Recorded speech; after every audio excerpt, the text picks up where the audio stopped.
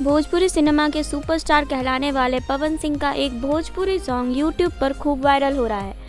इस गाने में पवन सिंह और अक्षरा सिंह की मशहूर जोड़ी नज़र आ रही है। पवन सिंह का ये भोजपुरी सॉन्ग पिया पिया कहीं के यूट्यूब पर तेज़ी से वायरल हो रहा है। यह गाना भोजपुरी फ़िल्म हम है लुटेरा का है।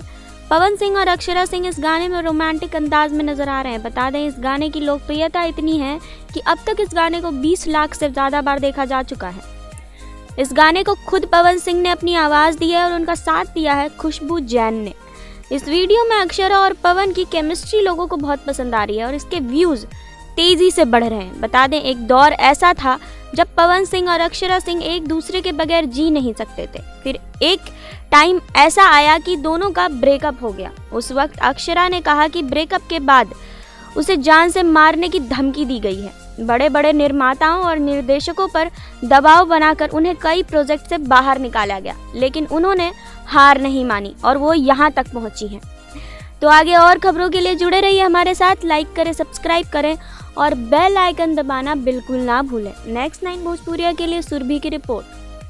Next nine news Bhojpuriya के सब्सक्राइब करी और लेटेस्ट अपडेट खातिर बेल के आइकन वाला बटन दबाएँ।